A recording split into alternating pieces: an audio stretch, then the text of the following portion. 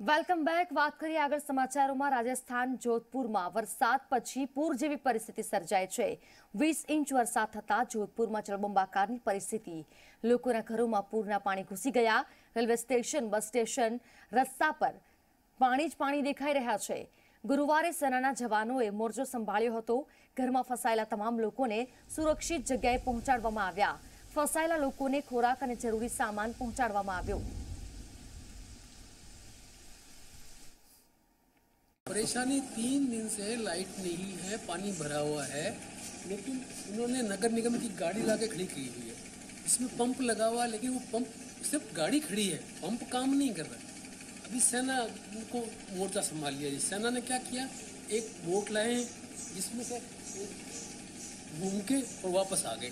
उसमें दस सेना के जवानों के एक आगे उसके, वो रेस्क्यू नहीं है वो वो एक फोटोग्राफी है जिससे कि ये दिखाना चाहते हैं कि हम काम कर रहे हैं। उसमें काम कुछ नहीं हुआ है। वो जो जवान आगे एक फोटोग्राफी करने के लिए आगे खड़ा हुआ है, वो फ़ोटो खींच रहा है और वो उसने एक घर से दो, घर से दो आदमी को उठाया और उसको बिठाया और यहाँ ला फोटोग्राफी कर लिया। तो काम नहीं है, सिर्फ़ ये एक लिपअप होती है।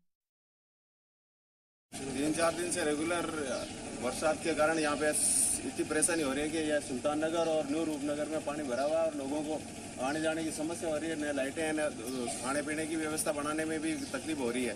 और लोग इतनी परेशानी में है कि जो निगम के भी कर्मचारी आ रहे हैं, सब कुछ आ रहे हैं, किंतु आसपास पानी निकालने की समस्या है, जो ये पानी कहाँ जाए?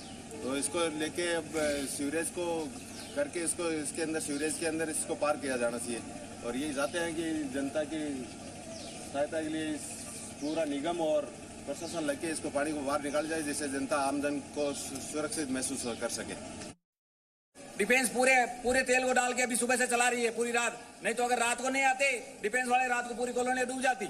निगम की जो पंप लग रखे हैं, उनके पास तेल नहीं है, बोलते हैं तेल नहीं है भाई साहब, कैसे चलाए इनको? आर्मी वाले ने तेल डाल के सुबह तक चलवाया उनको। पूरी रात से पंप पंप बंद पड़े हैं, सिर्फ़ एक पंप चल रहा है छोटा।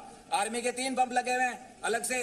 प्लस उनको भी तेल प्रोवाइड कर रहे हैं वो। जो बड़े पंप लग रखे हैं, नगर निगम के, उनको भी तेल प्रोवाइड करा रहे हैं। टैक्स देने को तो हम तैयार है।